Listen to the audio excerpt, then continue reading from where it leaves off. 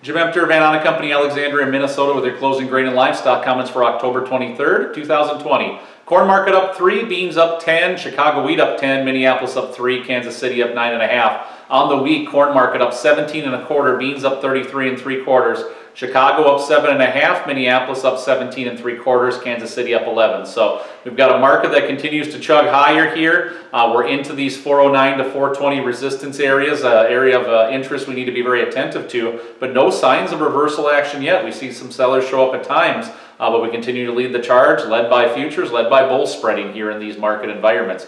Beans 1079 to 1112 resistance areas, an area of interest we need to focus in on, but that's a little bigger range there as we uh, look at the charts here and potentially uh, target those third price counts there for the bean charts. So uh, again, markets continue the, the momentum higher. Obviously the slowdown in harvest activity as a result of snow and rain through much of the nation. Uh, the rain is very welcome, but it slow down, slows down cash movement in a time frame where we've got some very big upfront demand needs.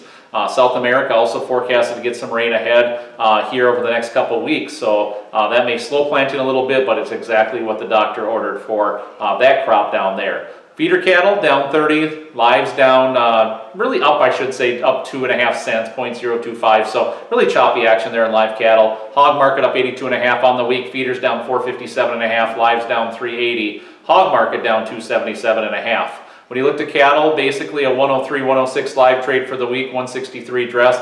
Box beef was mixed, exports were strong, and really just kind of market that searching for a base of support here again after breaking down to the downside and taking out the 200-day moving average.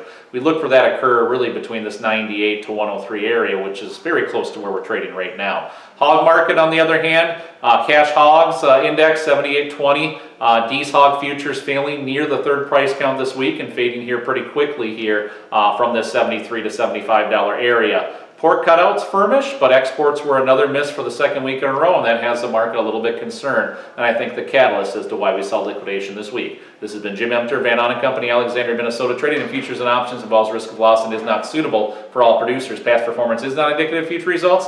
This is a solicitation. Have a great afternoon.